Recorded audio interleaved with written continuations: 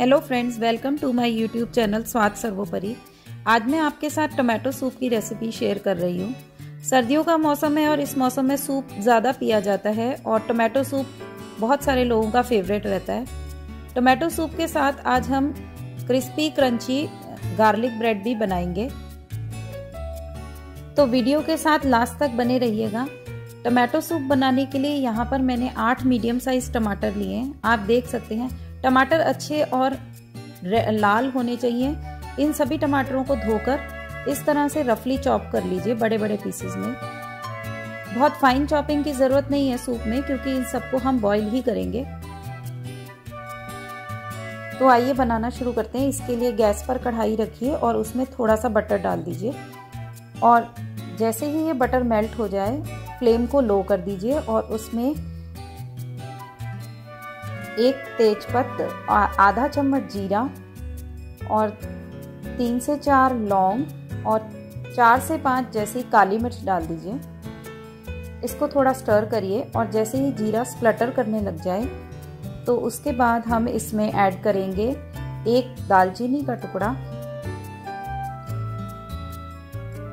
और उसके बाद साथ में दो चम्मच कटा हुआ, बारीक कटा हुआ लहसुन, उसको थोड़ा हिला दीजिए। और उसके बाद इसमें डेढ़ चम्मच कटी हुई अदरक डालनी है।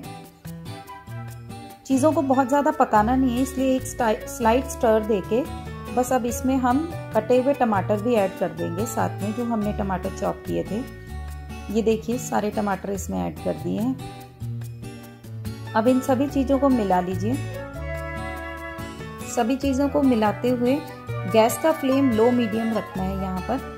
क्योंकि यहाँ पर हम सिर्फ़ हमको टमाटर को गलाना है। अब टोमेटो सूप को एक अच्छा सा रेड कलर देने के लिए उसमें आधा बीट रूट डाल दीजिए और आधा चम्मच नमक। बीट रूट आधा ही डालना है। आप देख सकते हैं मैंने सिर्फ़ दो पीस बीट रूट के ऐड करे हैं उसमें। इसके बाद हम लो मीडियम फ्लेम पे इसको सात से आठ मिनट के लिए ढक देंगे ताकि टमाटर गल जाए। आप देख सकते हैं सात से आठ मिनट हो गए हैं और इस तरह से आप इसको प्रेस करके देख लीजिए। टमाटर गल चुके हैं, साथ में बीट रूट भी गल गया है। अब हम यहाँ पर गैस को बंद कर देंगे और इसको ठंडा होने के लिए छोड़ देंगे। जब तक हमारा टमाटर ठंडा हो रहा है, तब तक आइए, बट गार्लिक ब्रेड के लिए हम बटर तैयार कर लेते हैं। यहाँ पर मैंने दो से तीन चम्मच जैसा बटर लिया है, उसको अच्छे से बीट कर लेना है। वो रूम टेम्परेचर पे होना चाहिए बटर। फिर इसमें थोड़ा सा बारीक कटा हुआ लहसन ऐड कर दीजिए और थोड़ा हरा धनिया, उसको अच्छा कलर देने के लिए। साथ में थोड़े से ऑरिगेनो और चिली फ्लेक्स ऐड कर दीजिए। इस तरह से हम सभी चीज़ों को मिक्स कर देंगे और लीजिए हमारा गार्लिक बटर बन के रेडी है। तो आइए, अब देखते हैं हमारे इधर टमाटर भी ठंडे हो चुके हैं और इस मिक्सचर में से दालचीनी का पीस और तेज पत्त को अलग हटा दीजिए। ये देखिए, बीटरूट भी गला हुआ है और इस सारे मिक्सचर को मिक्सर जार में ट्रांसफ़र कर दीजिए। इस सबको हम अच्छे से ब्लेंड कर लेंगे ताकि एक स्मूथ पेस्ट बन जाए। ये देखिए कितना अच्छा रेड कलर का स्मूथ पेस्ट बन के रेडी है। तो ये हमारी टोमेटो प्यूरी बन के रेडी है। सूप को एक स्मूथ और अच्छा टेक्सचर देने के लिए हम इसको पेस्ट को छान लेंगे एक स्ट्रेनर से। तो नीचे एक बर्तन रख दीजिए और ऊपर एक ऐसे जाली रख के इस पूरे सूप को छान लीजिए। ये जो जार में जो टमाटो था, उसको भी मैंने अच्छे पानी डाल के थोड़ा निकाल दिया है। और इस तरह से चम्मच से हिलाते हुए हम इस पूरी टमाटर के पेस्ट को छान लेंगे। और ये जो छन्नी के ऊपर जो निकला है मटेरियल उसको आप डिस्कार्ड कर दीजिए और ये जो पेस्ट आपका है, इसको कढ़ाई में, उसी कढ़ाई में ऐड कर दीजिए। और साथ ही इसको थोड़ा पतला करने के लिए इसमें तीन कटोरी पानी ऐड कर दीजिए। मैं सूप में थोड़ा सा कॉर्नफ्लोर यूज़ कर रही हूँ। अगर आपको कॉर्नफ्लोर नहीं यूज़ करना तो फिर आप पानी की क्वांटिटी कम रख सकते हैं। अब इसको एक बॉयल आने तक पका दीजिए। और आइए, हम कॉर्नफ्लोर का एक स्लरी तैयार कर लेते हैं। यहाँ पर मैंने एक चम्मच कॉर्नफ्लोर लिया है और उसमें थोड़ा पानी डालते हुए लम्ब फ्री स्लरी तैयार करनी है। इसमें लम्ब्स नहीं होने चाहिए, बिल्कुल भी। इससे सूप में एक अच्छा स्मूथ टेक्सचर आएगा। पर ये बिल्कुल ऑप्शनल है। अगर आप नहीं यूज़ करना चाहते कॉर्नफ्लोर तो आप वैसे भी बना सकते हैं। तो पानी थोड़ा कम डालिए बस। इस स्टेज पर जब एक अच्छा बॉयल हो गया है तो फ्लेम को बिल्कुल लो करके और इस लरी को टोमेटो सूप में ऐड कर दीजिए।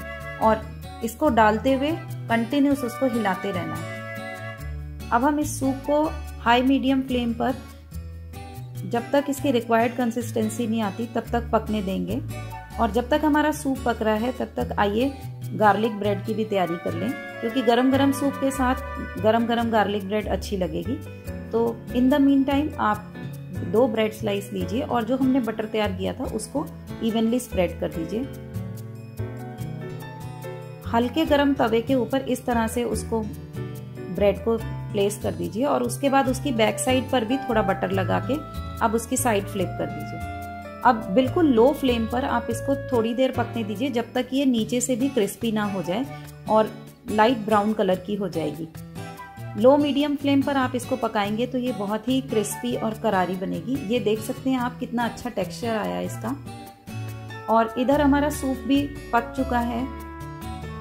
इस स्टेज पर हम सूप में वन फोर्थ टी काली मिर्च का पाउडर ऐड करेंगे और आधा चम्मच काला नमक ऐड करेंगे। नमक आप अपने स्वादानुसार ऐड कर सकते हैं।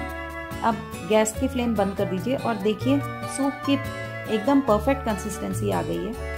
तो लीजिए हमारा गर्मा गर्म सूप बन के रेडी है with crispy and crunchy garlic bread इसमें गार्निशिंग के लिए थोड़ा सा मैंने क्रीम डाली है और थोड़े से ब्रेड क्रम्स डाले हैं। आप इस रेसिपी को ट्राई कीजिए और पसंद आए तो लाइक शेयर और चैनल को सब्सक्राइब कीजिए। पास में लगा बेल आइकन ज़रूर दबा दीजिएगा ताकि सभी नोटिफिकेशंस आपको मिलती रहें।